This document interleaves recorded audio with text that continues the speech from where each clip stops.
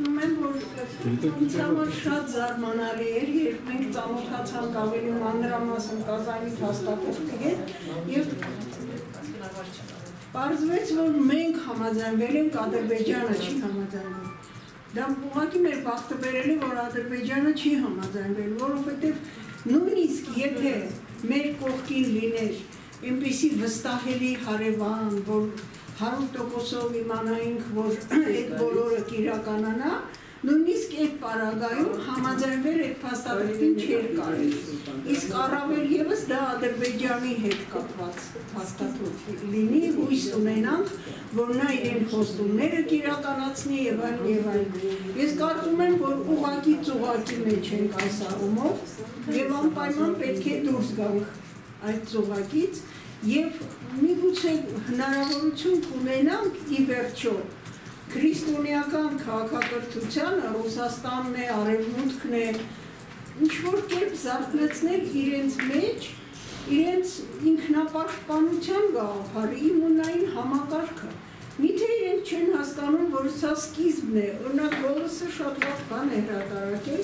եթե նայել եք, ես կարծում եմ հայկական թերթերն են բանարել, 11 թվականից Սալոնիկում եղած պատմական համագումարին ուրեմն Մեհմեդ Թալյան Փաշան հայտարարել է, որ մենք սկիզբ ենք դնելու հայերի ուրեմն վերացմանը եւ դա սկիզբ է լինելու քրիստոնեական քաղաքակրթության վերացմանը։ Մենք մեծ առաքելություն ունենք այս մոլորակի վրա։ Մենք դա պետք է իրականացնենք։ Եվ քայլ առ քայլ իրենք անընդհատ վերադառնում են այս գաղափարին Իսկ համանախագահները փաստորեն համաձայնվում են այնպիսի տարբերակի հետ, որ համահունչ է այս բոլորին։ Եվ ես կարծում եմ մենք շատ ավելի ակտիվ պետք է լինենք, ես դա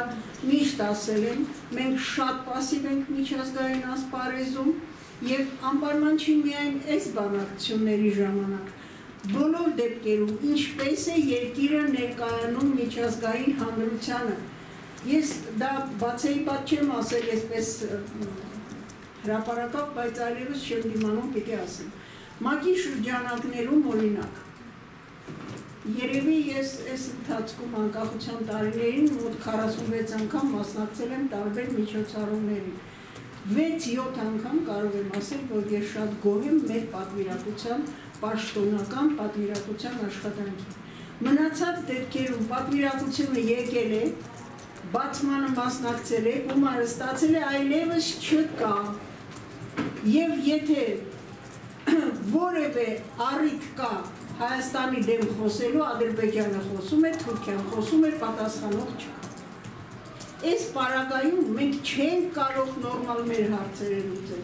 Ամեն քայլափոխին, սկսած ամենահասարակ սեմինարին մասնակցելուց մինչև ՄԱԿ-ի գագաթաժողովը, մենք պարտավոր ենք մաքսիմալ աշխատել եւ մեր ճշմարտությունը ներկայացնել։ Մեզ թվում է դե բոլոր ամեն ինչ գիտեն, դա այդպես չի, մենք նոր ենք վերադառնում քաղաքակրթություն։